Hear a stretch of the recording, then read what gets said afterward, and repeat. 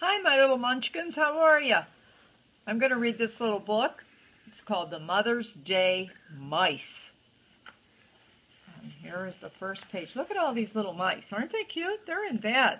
I thought this would be a good one when you read it before you go to bed. Biggest little mouse wakened first. It was early morning and still almost dark.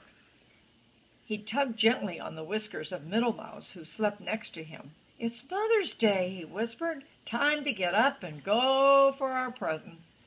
Middle Mouse tugged gently on the whiskers of Little Mouse, who slept between him and the wall.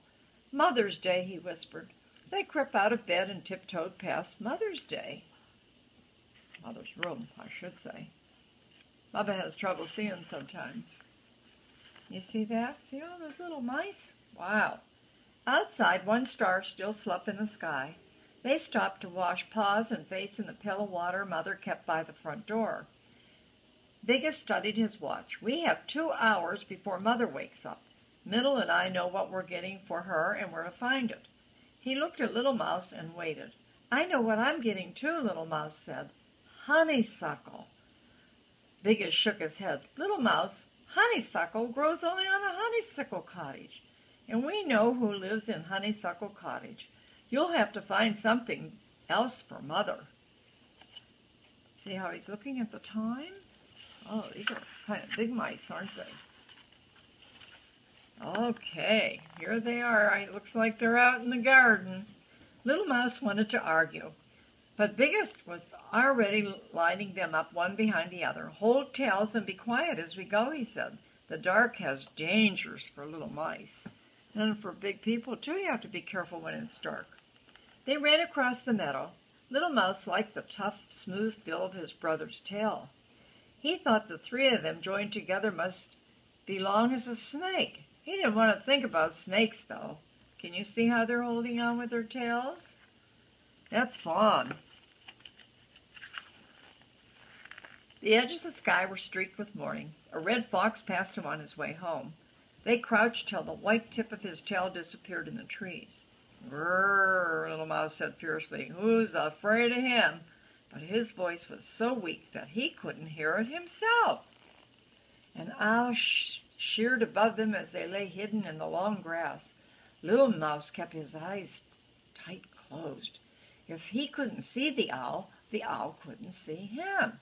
You didn't have to squeeze my tail so hard, Middle Mouse told him when they stood up. I thought you might be frightened, Little Mouse said. I was telling you I was here.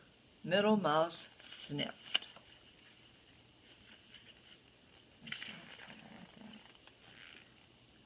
A strawberry patch grew at the edge of the meadow. There's my surprise for Mother, Middle Mouse said. She loves strawberries. She says the first ones taste of summer coming. Biggest Mouse boasted that he could get the roundest, reddest berry from the top. Its weight tipped him backward as he carried it. Imagine a strawberry bigger than a mouse. My surprise is here too, Biggest Mouse said. He picked a dandelion fluff ball and held it high by its milky stem. It's a wish flower. A wish flower for Mother. Little Mouse thought the fluff ball was as beautiful as spinning of spider's webs. He could see through it. Do you see the little... You ever see dandelion in your yard and it has this little fuzzy stuff on it? If you blow on it, it'll blow away. Sometime have Mommy see if she sees any and show you how that works. Mother will love it, Little Mouse said. Now can we go for the honeysuckle? We have time, and maybe he won't be there. Biggest Mouse sighed. We'll go look but only because you're the littlest and it's Mother's Day, and we won't go close. Cat is always there. What do they say about the cats? They chase the mice, don't they? And they're afraid. Cat was there. Look at this big black mouse. Holy smokes. I've never seen one like that. He lay on the porch of Honeysuckle Cottage, monstrously big, monstrously black, when he yawned, his mouth was a dark spiked cave. Little Mouse could see it clearly, even though they weren't too close. Maybe he'll leave soon. Little Mouse whispered.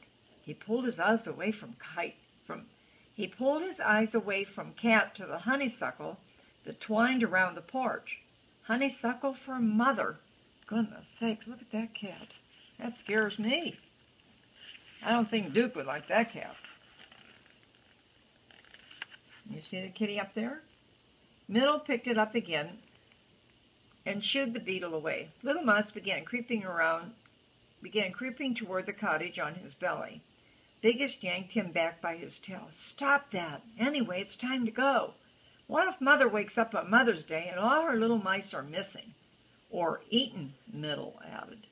We have to go, Biggest said. I'm sorry, Little Mouse. But inside Little Mouse had something had started to beat, something wonderful that was the beginning of an idea, something better than honeysuckle. It's all right, Little Mouse said. Oh my, wonder what he's going to do. The sun made a pink path across the meadow as they ran for home. Bring her a daisy, Biggest said over his shoulder. She likes daisies. Bring her a rock, Middle puffed, a small rock that's not hard to carry. They're nice, Little Mouse said, but they're not special enough for this special day. He had something special, though.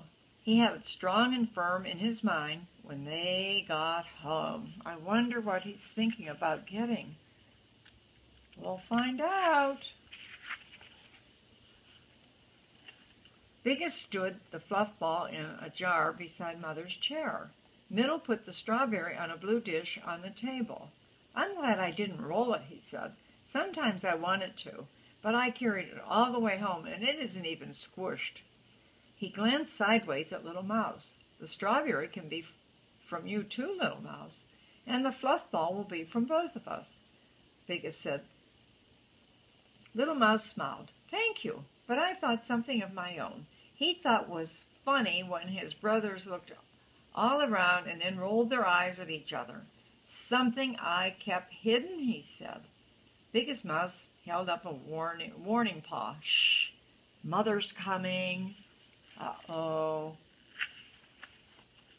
Happy Mother's Day, they all shouted when she came in the kitchen, and Mother said, Why, you remembered. Remembered? We almost got eaten three. Middle began, but Biggest poked him hard. Sometimes Middle talked too much. Mother blew the fluff ball, and it exploded into a million beautiful feathery seeds.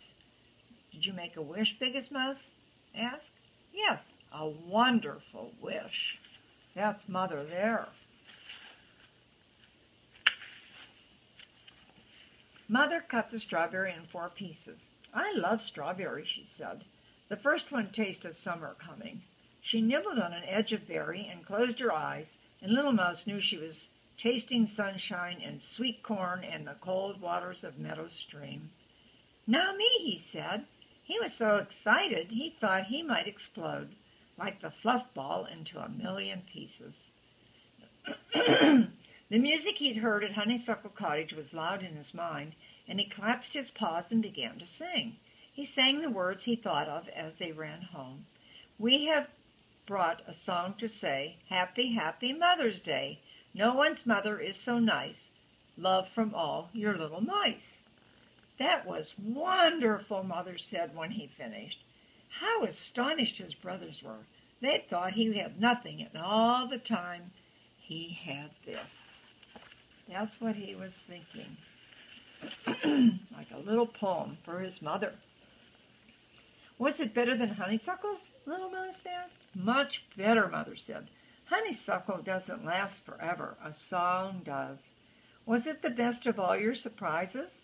As soon as he asked that, Little Mouse felt mean. The song is from all of us, he added quickly. Mother smiled. All my surprises were lovely. You each brought me something different, and you each brought me something the same. Do you know what that was, Little Mouse? Little Mouse knew. They'd brought her their love. Mother opened her arms wide, and they ran to her. Let's sing Little Mouse a song, she said. See how they're gathering around their mother?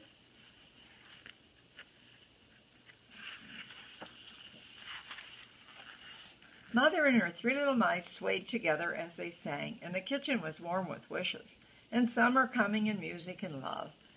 I bet your mommy could sing you a song. I bet that would be fun if she did that. Don't you? See how Mama Mice, how she was holding them and and dancing and singing. Wow, I bet that was fun. I hope you enjoyed that. Good night, little mice. Love you guys. We'll read another book another time.